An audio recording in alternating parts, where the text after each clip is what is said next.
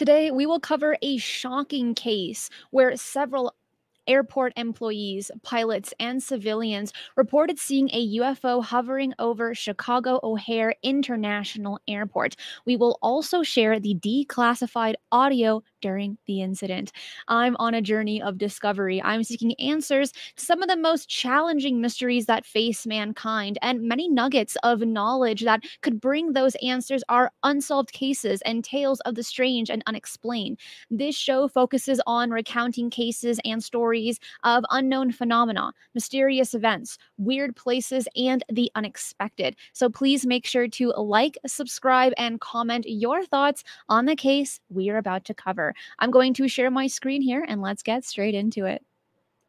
So it's November 7th, 2006 at O'Hare International Airport at around 4:15 p.m. CST.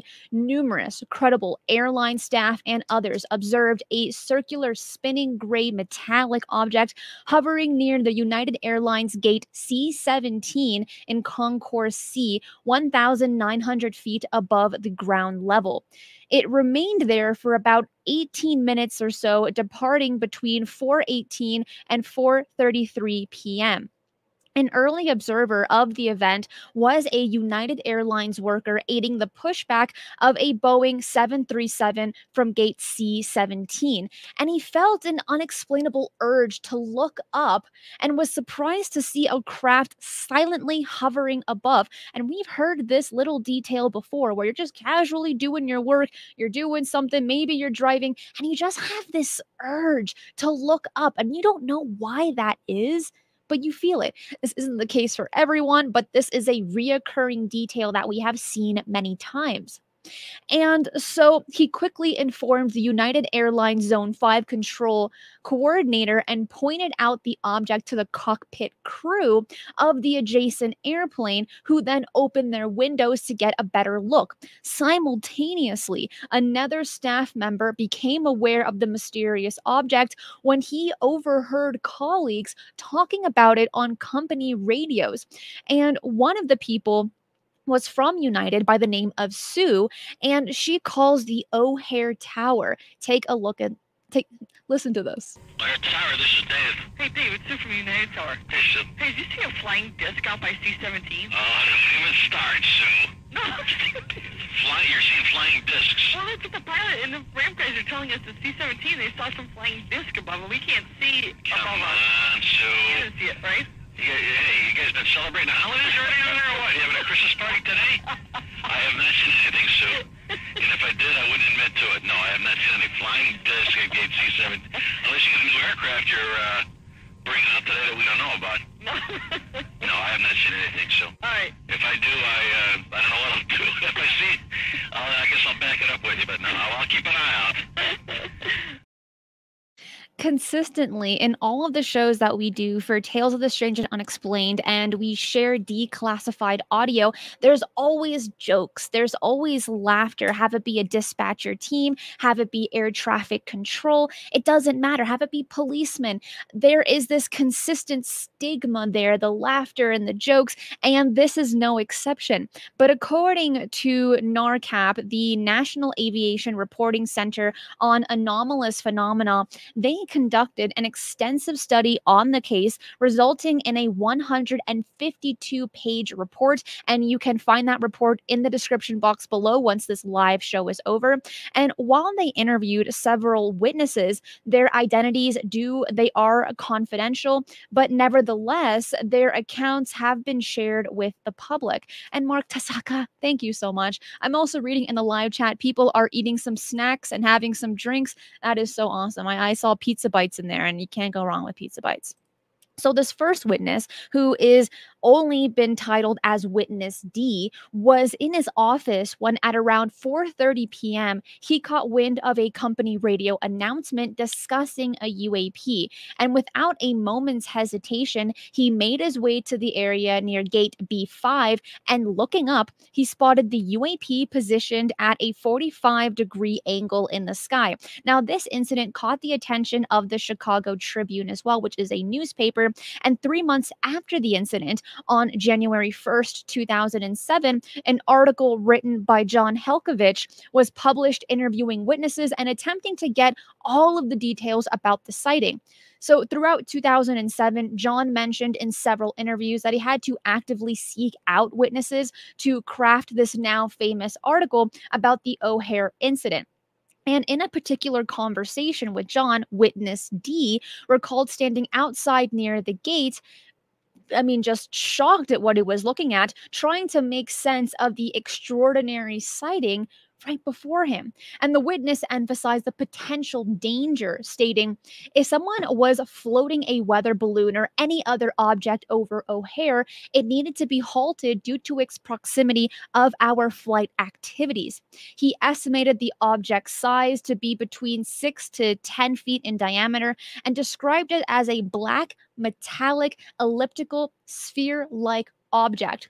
Witness D saw the UAP ascend rapidly, leaving a blur in its wake. Another colleague, Witness E, was with him, and another staff member, Witness F, mistook the object for a bird. After observing the UAP, Witness D contacted various authorities, including the FAA, the Federal Aviation Administration Control Tower, and discussed the sighting with fellow witnesses. And even though there were a handful of witnesses and alleged photographs that were taken during the incident, the tower didn't really take it too seriously. O'Hare Tower, Dwight. Dwight, Yes. what happened to Dave? Did he have to take a break because I called him? No. This is Sue from United. Yes. There, there was a disc out there flying around. There was a what? A disc? A disc? Can you, can you hang on one second? Sure, Dwight. Okay, I'm sorry. What uh, what can I do for you now? I, uh, all right. There was. I told Dave there was a disc flying outside above Charlie 17, and he thought I was pretty much high. But um, I'm not high and I'm not drinking. Yeah. Someone actually has a picture of it. So if you guys see it out there, A disc. Like a frisbee? like a UFO type thing. Yeah, okay. Okay. Yeah. I have a picture How, of the how, how high above Charlie 17? Well, it was above our tower. So Uh-huh. if you happen to see anything, You know what? I'll, I'll keep a peeled eye for that. all right. Okay. Goodbye. You hear Dwight, a part of the tower, stating, Ah, okay, like very sarcastic, brushing it off very quickly. And Sue, you can tell she sounds very uncomfortable. And there are some people that laugh when they feel nervous. I'm in that category. I know what it's all about. And maybe she wasn't necessarily like joking about this, thinking that this was super funny, but she just felt uncomfortable in attempting to even talk about a UFO, this disc shaped craft, because when you say the word UFO, you know jokes are going to be blown everywhere. So she was kind of careful in some ways to describe it as a disc shaped. And then you have Dwight saying, oh, like a frisbee really? I mean, you know how small a frisbee is? That thing is tiny. And for so many people, pilots and alleged photographs to be taken of this quote disc uh i don't think it would be a frisbee but hey that's just me. Now we have to ask ourselves well how big was this ufo well based on its observed position beneath a cloud base of approximately 1900 feet narcap could deduce its potential size and multiple witnesses provided angular size estimates allowing narcap to calculate its possible diameter. For instance witness a compared its size to a quarter held at arm's length, suggesting an 88 foot diameter if the UAP was at 1,900 feet. Meanwhile, witness D likened it to a pencil tip, indicating a 22 foot diameter. And while it's kind of tricky to nail down an exact moment of when this happened, we have several accounts to consider because witness A suggests it was at around 4:32 p.m their time. However, witness B and C lean towards a time closer to 4:18 p.m. And then there's witness D who believes it was somewhere between 4:33 and 4:34 p.m. And while we may not have a precise time, these testimonies give us a ballpark idea of when this phenomenon made its exit. Now, shifting gears just a little bit, let's talk about the media's take on this. John Hilkevitch, a respected journalist for the Chicago Tribune, who, who I mentioned a little bit earlier, shared a humorous remark from Craig Burzych, a union representative and an expert in the tower. And he said, Imagine traveling 7 million light years to O'Hare only to leave because your gate was occupied. That's just not right. And now, while this might elicit a little chuckle like, ah, that's so funny. It's a bit alarming to see a dismissive attitude towards UAP, especially when it seems to be a common sentiment in the aviation world today. And while some folks genuinely express concern about this incident, it is hard to ignore the jokes made in this next recording. Tower Cab, this is Dave. Hey, Dave Roger at United ATC. Yeah, Roger. I got an interesting one for you, Dave. Here. Some of our employees, I don't know if you heard anything about this, um, some of our pilots on the ground were reporting a UFO sighting at a thousand feet from the C side of the airport. Did you guys hear anything about that? You know what? The ramp tower called me, I want to say about 10, 15 minutes ago. We have not seen anything up there. Okay, Because she said it was right around gate C-17. okay, But, uh, I mean, and since she called, I've been looking, but we have not seen anything. okay. You know, I mean, uh, if we do, oh well, I guess, you know. Well, well, no, I'm just wondering. Maybe Yeah. we'll have to. Maybe we'll. Maybe we'll have to give him the C7 right. Yeah, yeah, I know. Either that or you, know, you guys unveiled a brand new aircraft that I didn't tell anybody I about. know, I know. But, uh, no, we have not seen anything, but we will uh, surely keep an eye out, that's for sure. Thank you very much. No problems.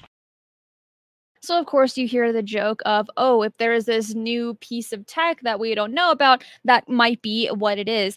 What I did find interesting about this particular interaction between Dave and this other person is that this other person kept stating okay and not really giving any feedback, while Dave is sharing a lot of extra details we don't hear that necessarily too often, at least with these types of audio recordings when it comes to any UAP incident. People are pretty caged. They don't want to share what they know. But in this case, for Dave, while there were a, little bit of laughter, a little bit of jokes here and there, he was willing to share this information with someone who had called into the tower. And that was something that I think is worth mentioning but now we're getting into the crazy aspect of this of this case because not only are people seeing this craft in the sky not only is it being recorded by the air traffic control tower but there's more to this because the UFO ascended sharply through the 190 foot cloud, leaving a hole roughly its size.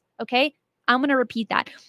This craft allegedly left a donut shaped hole in a cloud, and this hole lingered for up to 14 minutes. Such an occurrence suggests that we might be dealing with an object that's either superheated or radiating. Now, the FAA has gone on record stating that there was no radar detection or any visible confirmation from the control tower, yet Interestingly, primary radar data from the FAA seems to back up this event. And what's more, an FAA ground controller did make a reference to this UFO at around 3:58 p.m., which was well before the UFO made its exit. And we're going to revise this donut-shaped cloud a little bit later, so just hang on to that in your mind because there's more to this. But then you have Elizabeth Isham Cory, a spokesperson for the FAA,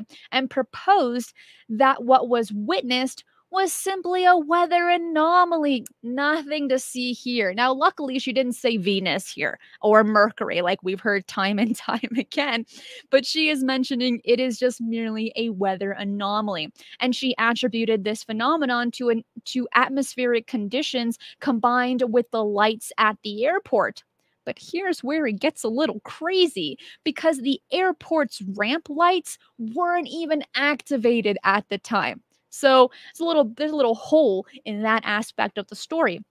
And such explanations, rather than clarifying, only deepen the mystery and fuel skepticism. It's crucial for us to recognize that when official statements appear dismissive, it might discourage other potential witnesses from sharing their experiences. And this is absolutely true. When you give these very mundane explanations, people that witness this might think to themselves, oh, that's obviously what it must have been. There's no need for me to call in and, and share my encounter or share my sighting with anyone because obviously it's just Venus or obviously it's just a weather anomaly. And it, it can be very, very discouraging. Um, can that be true sometimes? Yeah, for sure. But even if you see something that looks very strange to you and you potentially may have already heard the explanation, it's still worth documenting and giving that sighting to someone who is knowledgeable in the topic, at least enough to be able to help you understand what you saw and what you encountered as well. But you also have Sylvia, a coordinator with the United Airlines, was among the first to sound the alarm, and she reached out to the FAA tower and even made a company wide announcement about the UAP sighting. And her line was buzzing with multiple calls about the UFO. Then there's Sue, who we heard a little bit earlier, who contacted the ATC tower at precisely 4:30 p.m. However, they claim to have seen nothing out of the ordinary. And what's intriguing is the 15 minute gap between this reported time and what's recorded in the FAA's official log. In response to this incident, United Airlines swiftly initiated an internal safety assessment the very next day. But here's where it gets odd. By November 10th, they opted out to pursue a full blown investigation. And to this day, the results of their preliminary review remain unknown. The question is why? What's going on here? Why would they say, okay, we need to have a safety assessment? And then not too long after, in this case, the very next day, they stop the full blown investigation. There has to be a very, very good reason for that. And unfortunately for us for the public we are left in the dark. We don't know what they reported. That information is not has not been made public.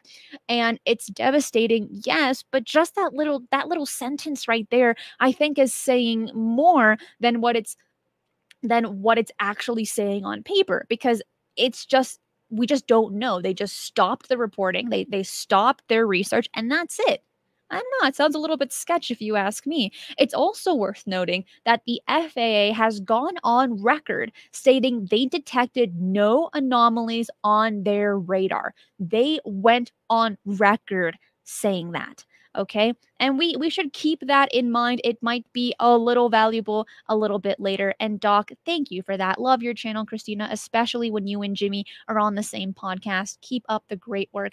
Thank you for supporting my channel. I do appreciate that. Jimmy right now is in egypt and he will be back next week. But getting into our next aspect of this case is that a FOIA request filed by journalist John Hilkevitch, this guy that we're seeing on screen right here, unveiled some compelling information. And it turns out that there had indeed been communication with air traffic control regarding this mysterious object. Back it up just a little bit here, okay? Because the FAA had gone on record stating they detected no anomalies on their radar, but that doesn't mean that people weren't seeing the this object with their naked eye. In a column dated January 1st, 2007, Hilkevitch wrote, and I quote, the Federal Aviation Administration, the FAA, confirmed that its air traffic control tower at O'Hare received a call. This call was from a United supervisor, supervisor inquiring if the controllers had noticed an enigmatic elliptical shaped craft hovering motionless over Concourse C of the United terminal. Now, while the FAA said they detected nothing unusual on their radar, the pilots, ever vigilant, attempted to continue to exercise this UFO sighting with caution. Ground Gateway 5668, set in the penalty, penalty box, ready to go to the North Port. Uh, Gateway 5668, you can use Alpha to North Port and use caution for the uh, UFOs. Uh, Alpha to the North Port, we'll take a look. United Maintenance 44. Okay, it's 44. Thank you. All right. 44 is going around the north Northport. Excellent. Uh, you got Eagle and SkyWest over here that. coming around this way. He's turning in no factory. You really got no other gate holds. All right. Somebody reported a UFO or a flying disc above Charlie us. Seriously. Excellent. Yeah. Um, so nobody I'll can keep my eyes open. nobody can see it, but use caution. All right. Um, and that's that's pretty much it.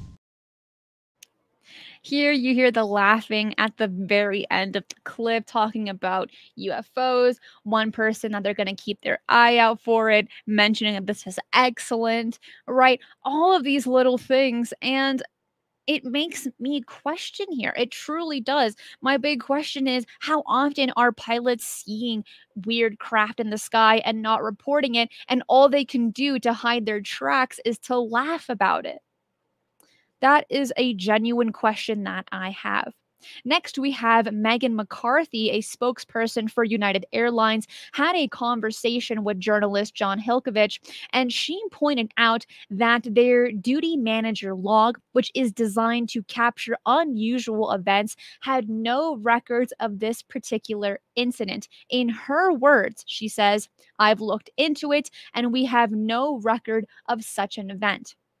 However, here's the however, the plot thickens because a FOIA request made by NARCAP revealed a contrasting narrative. The records indicated not one, not two, but three separate phone inquiries from the United Ramp Tower concerning the UAP. And here's the kicker one of these calls was indeed documented in the FAA's towers daily records of facility operation. Dun dun dun. And this revelation certainly raised eyebrows, and it does prompt us to question the transparency and accuracy of the initial statements based on the interviews conducted by journalist Hilkevitch, it appeared that airline staff were not only questioned by United's management, but were also asked to draft report and sketches that they witnessed. And this is genius. If if if you want to look into a case and you want to debunk it or not, doesn't matter. It is amazing to have people write it down while it's still fresh in their mind to take notes, to to do some sketches. This is crucial and luckily for the United uh, United's management, they seem decently knowledgeable in this topic, so much so as to ask pilots to draft what they saw on that day find that a little bit weird as well. But what's more was that there were whispers that they were advised to keep their observations under wraps and to not discuss them with anyone. However, a point of dispute arises right here because the senior editor, John, couldn't find a single airline employee to corroborate this claim. So we hear rumors, as what this aspect of that little paragraph is. It's a rumor that these pilots weren't able to talk about it outside of the United management. But when he asked about it, when John Hilkevitch was asking, hey, is this true? No one said anything. Were they did not say anything because they were scared? Did they not say anything because it's true? There are so many layers to this story, and there's also so many layers to the human psyche as well. People lie all the time. They've lied since the beginning of time, and you learn to lie at the age of like three or four. And then you get better at it as you get older. Now, some people are absolutely terrible at it and those are the purest souls right there. But when we're looking at this, it's very easy to say, no, no, I, I didn't, I didn't see anything. And you kind of look away and you, and you walk really fast at a little coffee shop, right? Grab a cup of coffee and just keep on running. But in some instances, it's not that easy to lie. Now, in this case, for John, he's a journalist, he's not a walking lie detector. So he could only take their word for it and say, okay, well, if you say so, then I'm just going to write this down and at least document it. Now, one might wonder is it possible that pilots from a predominant airline might have spotted the UFO as they approached the airport that day. While this is a tantalizing possibility, as the release of this report, it remains just that a possibility. But to add another layer to this mystery, in the upcoming audio clip, you'll hear one individual urging another to glance out the window in search of this alleged UFO. Take a listen. Gateway 5668. 5668, go ahead. Yeah, look out your window. Do you see anything above United's concourse? They actually, believe it or not, they called us and said there's a somebody observed a flying disc about a thousand feet above the uh, gate Charlie 17. You see anything over there? Not that I can tell. Okay. Yeah, I thought my job was stressful. Oh, we saw it a half hour ago. Who saw it? Whole bunch of us over at the uh, Charlie Concourse. Really? You guys did. Who's this? The United Mechan- Taxi Mechanics. Thought it was a balloon, but we're not sure. Did you hear that at the very end? I thought it was a balloon, but I'm not sure. I need to emphasize that this take that this case took place back in 2006. A lot of stigma there. However, during that time frame, people were knowledgeable in UFOs. People people knew the basic stories. They were still into all the sci-fi movies as well that were happening in the 80s onward people were familiar with this very well, but they also knew the explanations, such as weather balloons, which this guy from the taxi mechanic was was kind of kind of thinking it might have been, but he wasn't sure because he, he's not necessarily you know, he's not a UFO expert, at least to our understanding. We don't actually know who this person is. He did not come forward. All we know is that he is a taxi mechanic. But these audio clips are incredible because we're able to hear alive. I mean, in the sense of while it was happening, while they were seeing this, while they were having these conversations, we are able to catch it in that moment. And we only have a few clips of what happened back in 2006 at the O'Hare airport, which is a bit sad. How how much other how, how like is there more audio that wasn't declassified that could have been even more compelling than what we've heard thus far? If you are enjoying the show, hit that like button. It lets me know that you're enjoying the show and it tells the brutal YouTube algorithm that you want more UFO content on your page. So, the Chicago Tribune brought to light that several witnesses voiced their frustration to the publication, and they were upset by the lack of investigation by both the government and the airline concerning the incident. To quote an alleged airline United Airlines baggage handler witness, he says, in an age where terrorism it's at its forefront and TSA is intense with um with all these weird objects that have to come in through the machines and they freak out when it's something wild. Why are they not freaking out about UFOs? It defies logic. And we are one of the busiest airports in the United States. And to give you a sense of how intense the O'Hare airport is, an Associated Press article from July 3rd, 2006, citing government data, declared O'Hare as the nation's busiest airport for the first half of that year.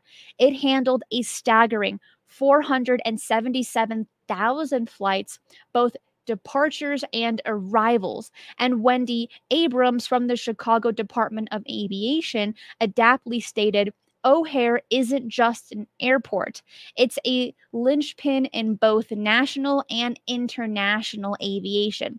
And to paint an a, even clearer picture of this immense flight traffic, U.S. airlines operated 8.8 million scheduled domestic and international flights across all airports in the first 10 months of 2006. October 2006 alone saw a little over 900,000 flights. Now let's zoom in on O'Hare. Its air traffic controllers routinely handled about 96 incoming flights every hour. That's roughly one flight every 38 seconds often spread across multiple runways. When we're looking at it from that perspective, just putting in the the math, putting in the facts here, you are dealing with a lot of pilots, you're dealing with a lot of people on the planes, dealing with a lot of people in the airport, you're dealing with a lot of people in general. And for for this alleged UFO sighting to have happened in one of the busiest airports during that time frame, It's it's unbelievable. It's shocking. And then of course you want to ask yourself, "Oh, but then where is the video evidence? Where where are the photos? Why are more people coming forward? Why isn't the story as famous as it should be?" Right? These are all very very very valid questions. I am with you on that. And it's so valid that my voice just cracked there. But this is also 2006. Phones weren't that great. People still they were still using camcorders and for the most part you're not really taking a lot of pictures while you're at the airport. Now in today's world in 2023, everyone has a phone now. Everyone's taking pictures. Everyone's posting on their story of where they're going, taking their selfies, right? 2006 was a different time when it comes to socializing with people. Social media wasn't a big thing just yet, but it it's not an excuse necessarily for us not having picture evidence and video evidence. And what's odd is that in one of the earlier recordings that I shared with you, Sue mentioned, "Oh, we even have pictures of it."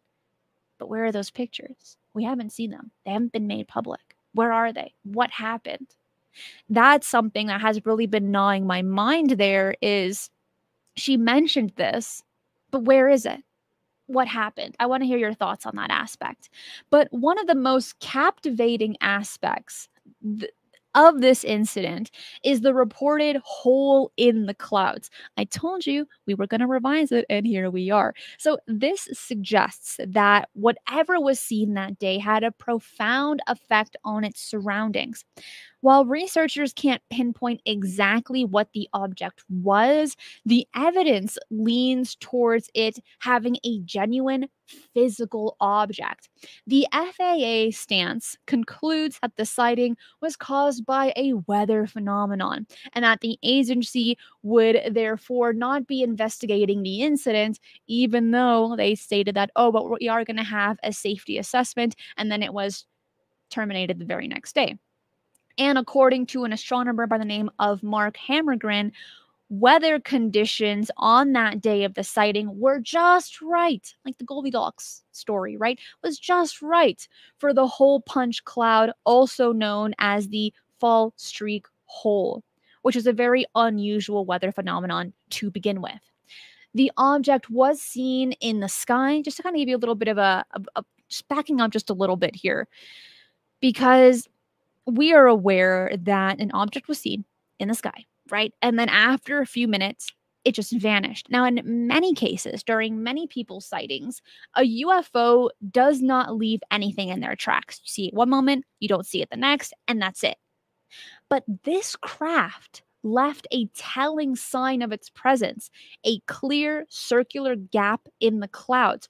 A trusted source confirmed to NARCAP that this cap that this gap was visual visible, excuse me, around 4:20 p.m., suggesting the object had just left. And this intriguing cloud formation persisted for a good 5 to 10 minutes. And the enigma we're left with is what exactly was this object and what brought it to that particular spot? Let's just say, let's just just go a little crazy here for a second. Let's just use our imagination just for a moment. Let's have a little bit of fun here.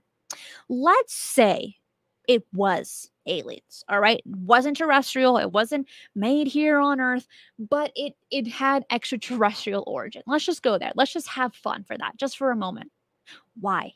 Why would you want to go to one of the busiest airports in the United States just to spend a few minutes there and then to punch a hole through a cloud and then leave? What's going on? Is there more to the airport? Were they maybe invited there? Who knows? Was it just for fun, like a little a little tourist trip maybe? Or was it was it man-made?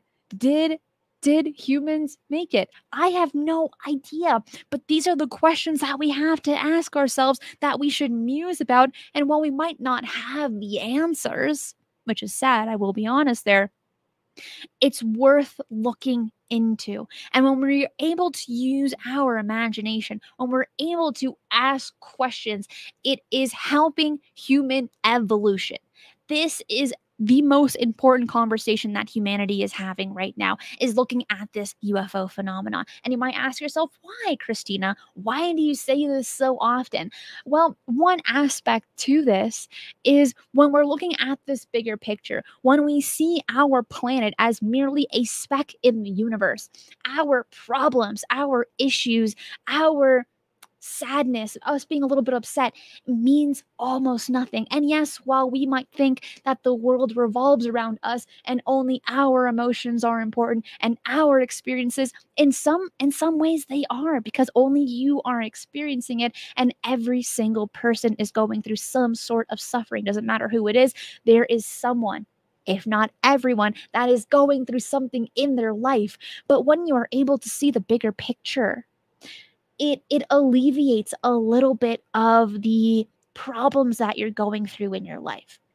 And that is something that I love about these mysteries is that I'm able to jump out of my life and look into something bigger than myself. And this is why, in my opinion, one of many aspects, why this is one of the most important conversations that humanity is having, because it's going to lead to human evolution more so than other aspects. Of course, technological advancements, that's a very big deal. And when, when we can couple that with space exploration at some point in time, I'm going to assume here it's going to be required in any college degree that you're going to have to study extraterrestrial life, astrobiology, something or other, because we are a spacefaring species. We are meant to explore. And when we have the proper equipment, when we have the proper understanding of our of of, of the universe, of space, of our solar system better than ever before, we will be able to travel and hopefully be able to interact with other intelligent intelligent species. But we have to start off small and think to ourselves, well, the world does not revolve around us. There is so much more out there, and it all starts with one thought asking one question What is really going on here? So, what's, what's the big takeaway of this case? Why are we covering this? Well, at the O'Hare International Airport, numerous witnesses reported a small, seemingly solid object hovering over the United Airlines concourse for an extended period exceeding about 18 minutes. And despite its evident presence, this object eluded radar detection and remained unnoticed by air traffic controllers that's in quotation marks right there, presenting a potential risk to flight operations. And they are right here. You're going to hear the narrative of, oh yes, UFOs, they are they are a threat, following that threat narrative. And I've covered this many times. I'm just going to touch on it this time. And that is if it's not a threat narrative, when we're dealing with the government and the military, everything to them is a threat. And if it's not, they're not going to put funding, they're not going to do research on it. If it is classified as a threat, they're going to put they're going to put their eyes on it. They're going to look a little bit more into it. And while you might not agree with a threat narrative, it doesn't really matter. It doesn't. It's it's about the research, it's about the funding for it. And if everything is happy sunshine, unicorn, rainbows and ramen, right? People aren't going to care. They're not going to look into it as much as seeing, okay, there's an issue here. It's a safety issue. We need to look into this. We need to be safe. We need to have the right equipment to in order to protect our people, right? Okay, but now let's talk about numbers. Calculations indicate that this UAP exhibited a high energy density, and this might explain the reported hole it left in the cloud as it ascended. To give you a sense of its power, if the UAP was approximately 6.8 meters in diameter, it would require a staggering 100 megawatts of power to evaporate water droplets in a 300 meter cloud column in just one second. To put this into perspective, that's significantly more power than a B 747 airplane consumes during cruise. And this event underscores a reoccurring challenge. Unidentified phenomena often slip past radar systems, resulting in a lack of official acknowledgement and action. The FAA's hesitancy to delve into such sightings, often citing a lack of concrete evidence, is indeed a cause for concern. NARCAP hopes that this report contributes to the mounting evidence surrounding UAP and urges U.S. officials to enhance their detection methods so that we can keep our airspace safe and to better understand this mystery. And they are absolutely right. I would like to repeat that the NARCAP report will be in the description box below once this live show is over for you to read it in more detail. It is a 152 page report where they go into detail on the sightings, on the witnesses, on the weather that day as well, and kind of brushes aside that this that's that, that, that this was merely a weather anomaly, something so mundane, something so simple, simple because it's not adding up with how the weather was during that time frame in order to create that type of donut cloud did you enjoy this story today? Did you enjoy this case? Let me know in the live chat. Please let me know in the comments as well. It is one that's absolutely fascinating. Honestly, any case that has air traffic controlled tower audio or dispatch audio or any kind of audio that was created by law enforcement officials, government officials, things of this nature, it truly captivates me. And I know it does for you as well. Being able to share these audio recordings with you does it does truly make me happy because we're able to have these conversations and then we're able to layer on the case with these audio recordings to give us a better understanding of what these people were going through, maybe what they were feeling, what they were thinking, in some aspects as well. And in this case, compared to the Hudson Valley um, case that we covered with that we also shared audio recording this one in in the aspects for sue and for dave here today they were curious and yes while they were laughing and throwing a little bit of jokes i really do feel as if they went home that day sat in their bed and just and just thinking to themselves what just happened? What conversation did I have? Did anyone else actually see this UFO like I heard? When I was talking to Sue and others, right?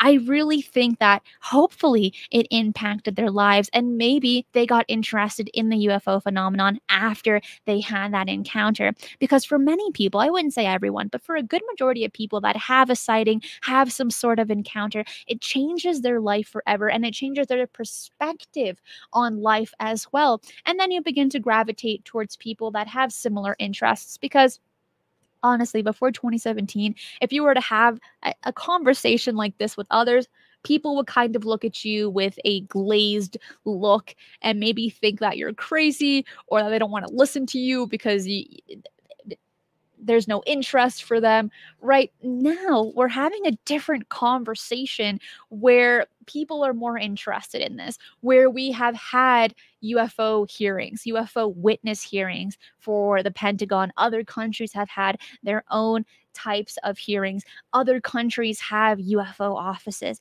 right? We are coming towards something. I'm not really sure what, but we're coming towards something to where we are able to have these conversations more openly. And then you can ask yourself, well, what does disclosure mean? Everyone has their own definition. Some say we're already having disclosure as we speak. Some say it'll happen when the government is transparent. Some say it'll happen when a, a huge mothership shows itself to the world everyone has their own definition of ex- uh, of disclosure here but i think that we are we are on the right tide. We are in the right direction in so many ways not in every way but in so many ways to be able to have this conversation more freely. But let me know your thoughts your insights your opinions are very valuable to me. So please share a comment please share in the live chat what you have to say about this case.